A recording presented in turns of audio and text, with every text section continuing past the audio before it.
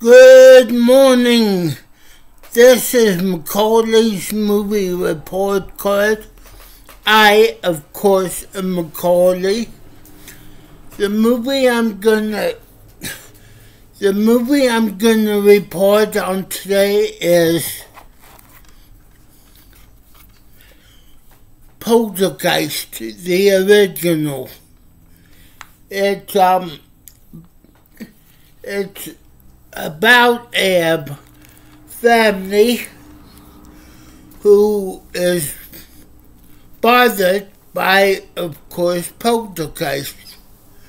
They have a girl named has named Carol Anne, and she gets kidnapped by poltergeist, and they have to get her back. Okay, on to the report card. The um, the acting is okay for an old movie. So I give the acting an A. The writing is also an A. The director, Tobe, Tobe Hooper, or Hopper, Hooper, is he directed a good movie, so I give him an A2.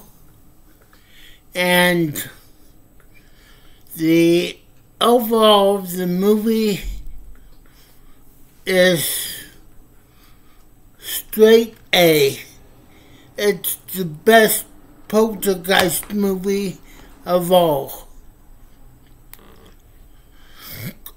With stars like, um, oh, what's his name? Well, with stars like, uh, hold, hold on a minute. With stars like Craig T. Nelson, yeah. The old coach.